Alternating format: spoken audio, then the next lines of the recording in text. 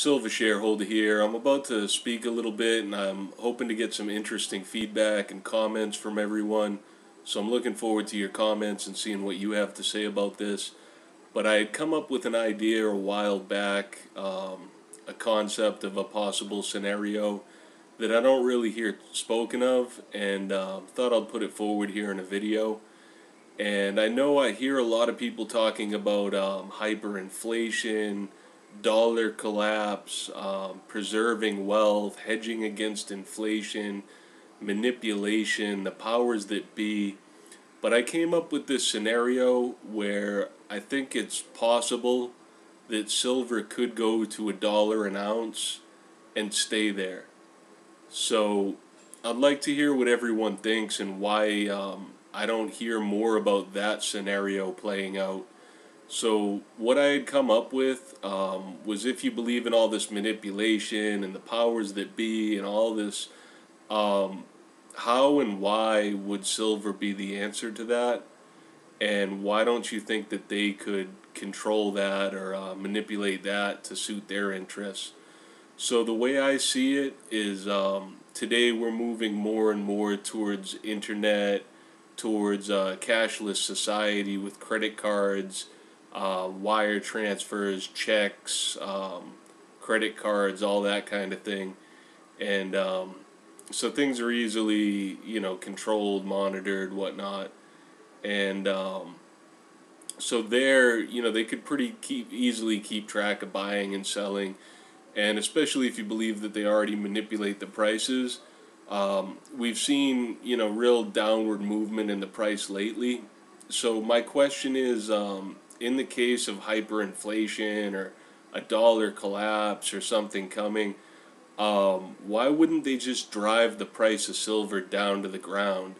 So if you believe that they control or manipulate the markets, um, why not push the price down and down? I don't know if it would be, you know, five dollars an ounce, ten dollars an ounce, maybe one dollar an ounce, but um, just completely smash the price of silver down which, according to what I hear from a lot of people, seems like it could be pretty easily done um, with ETFs, you know, selling shares and things like that, um, or even somehow flooding the market if they were to stockpile it and then flood the market, uh, the physical market, or whatever they had to do. But um, to drive the price down dramatically so and then just ban the uh, sale of metals. So make it a strategic um, commodity or something. You know, control the sales or control the price.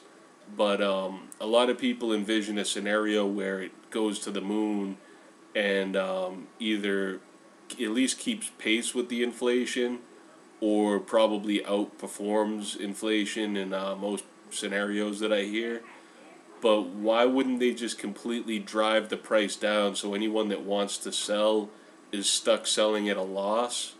And um, you know destroy sentiment destroy any buyer interest um, shake out all the weak hands and then just make it something that you can't trade in um, to prevent any of the strong hands from ever cashing in or benefiting from it. And then I know people would say it would move to a black market or something.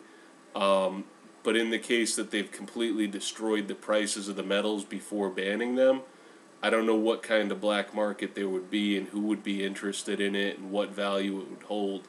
So if the price was smashed down to a dollar an ounce and uh, you wanted to trade it or whatever, um, what do you think people would offer you in return for it? I'm guessing not much. So it definitely has its uh, uses, but unless someone's really looking to make some silver jewelry or some, uh, you know, uh, colloidal silver water or something. Um, kind of wondering maybe they want to make solar panels. And in the case of industry, I know a lot of it's used as industry, but again, they could regulate the buying and selling of it um, to make sure it's only going to industrial uses as a uh, strategic, you know, commodity or something like that.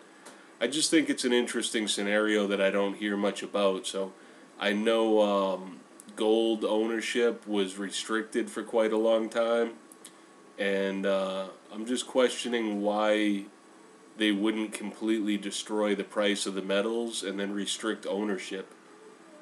What do you think about that? Thanks for watching.